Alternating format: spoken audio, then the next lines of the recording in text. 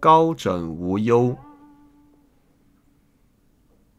春秋的时候，齐国有一位叫做孟尝君的人，他在家里养了三千个客人，冯轩也是其中一个。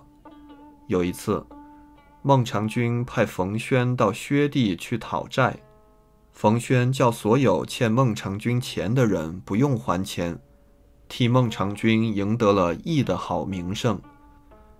后来，孟尝君被罢官，回到薛地去居住，薛地的人民都热烈地欢迎孟尝君呢。过了不久，冯轩又对孟尝君说。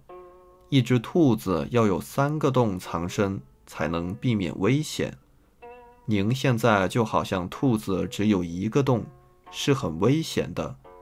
所以，您现在还不能把枕头垫高，安心的睡觉。让我为您筹划一下吧。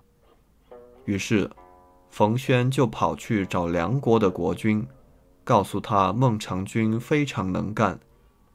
国君听了之后。立刻派人带着贵重的礼物，请孟尝君到梁国做相国。这个消息传到了齐国，齐国的国君马上慌张起来，赶快用隆重的礼节请孟尝君回齐国做相国。同时，冯轩又叫孟尝君在薛地建立宗庙，用来保证薛地的安全。冯轩对孟尝君说。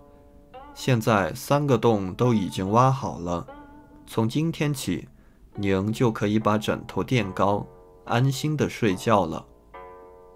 后来，人们就用“高枕无忧”比喻太平无事，不用担心忧愁。